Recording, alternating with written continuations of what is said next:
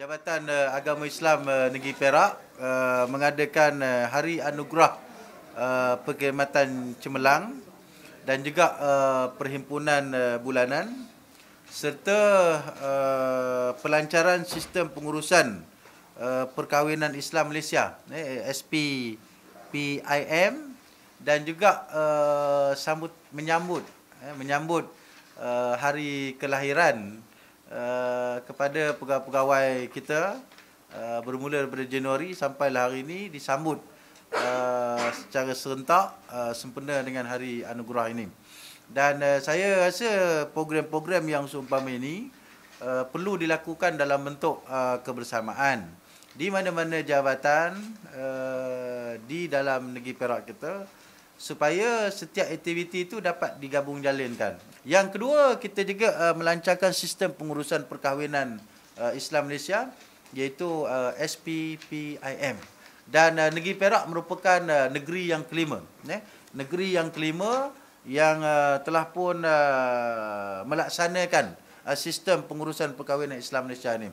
Jadi maksudnya, apa saja uh, maklumat-maklumat ataupun input uh, tertentu maka boleh diperolehi melalui uh, sistem pengurusan perkahwinan Islam Malaysia ini uh, melalui www.sppim.gov.my maka boleh melayari uh, SPPIM ini dan untuk memudahkan lagi. Contohnya nak tahu bila masa kursus perkahwinan yang diadakan di negeri Perak ataupun di mana saja ataupun nak tengok status. Ha, kali ini orang tak boleh tipu. Begitu. Jadi dengan adanya silibus ini uh, ataupun madah yang sedemikian rupa jadi uh, apa nama tenaga-tenaga pengajar kita baik guru dakwah, guru takmir, guru tauliah ni dia akan berada di seluruh negeri Perak.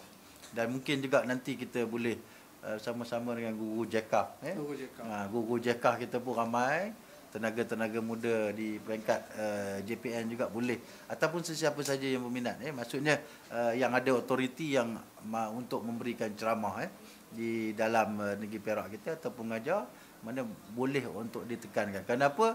Nak mengelakkan daripada persepsi ataupun kekeliruan kekeliruan kekeliruan yang tersasar jauh. Ha, sebab hari ini sebagaimana disebut oleh Datuk Pengarah ada ajaran sesatnya, ada syiahnya, ada macam-macam. Jadi orang dah jadi confused dan sebagainya. Jadi kita nak tengok uh, hendakkan sasaran di negeri Perak supaya kita committed dalam hal penjagaan akidah. Supaya kita ini ini merupakan uh, tanggungjawab kita lah kerajaan dan juga melalui Jabatan Agama Islam khususnya uh, apa nama mereka-mereka yang akan beradaptasi dengan uh, masyarakat.